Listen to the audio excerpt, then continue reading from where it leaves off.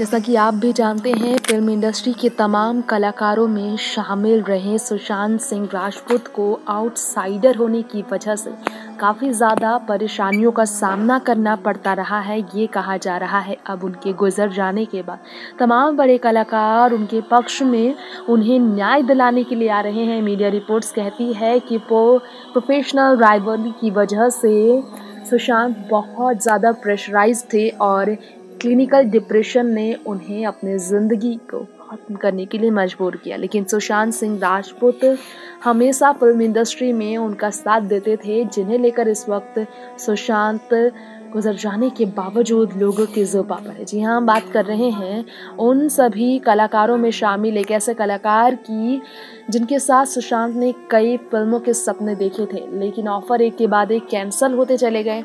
आज वो नाम संजय लीला भंसाली का ही है, जो कि सुशांत के निधन में, विवादों में फंसा है। लेकिन क्या आपको मालूम है संजय लीला भंसाली की फ़िल्म पद्मावत की शूटिंग के वक्त जब करनी सेना के राजपूतों ने बहुत बवाल खड़ा किया था, जब चोटिल हुए थे संजय लिया भंसाली, तब उनके पक्ष में खुद सुशांत सिंह राजपूत आए थे और उन्होंने कहा था कि राजपूत होने के नाते उनमें बहुत हिम्मत है और वो सौ गुना ज़्यादा, दस गुना ज़्यादा हिम्मत दिखाएँगे उन्हें, जिनमें हिम्मत ये है कि अपने नाम के बदौलत वो अपना काम करके दिखाएँ।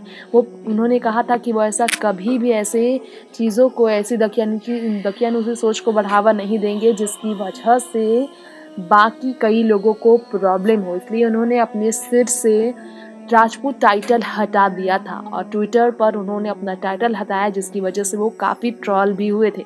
नफरत होती थी उसे, उन्हें इस तरह के राजपूत वाले इस अहंकार जैसे शब्दों से, इस कारण से सुशांत अकेले ही इसके लिए लड़ने के लिए आगे आए थे बाद में सुशांत ने फिर से अपने टाइटल को नेम के साथ सरनेम को जोड़ रखा था। नेक्स्ट नाइन न्यूज़ रूम से तृप्ति की रिपोर्ट।